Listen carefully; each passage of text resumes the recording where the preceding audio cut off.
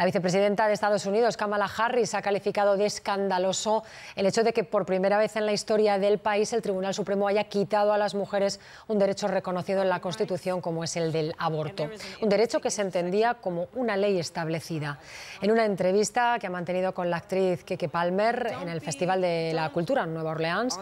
Harris ha señalado que esta decisión muestra la vulnerabilidad de otros derechos y permite al Estado decidir sobre la vida íntima de las personas los cuerpos de las mujeres.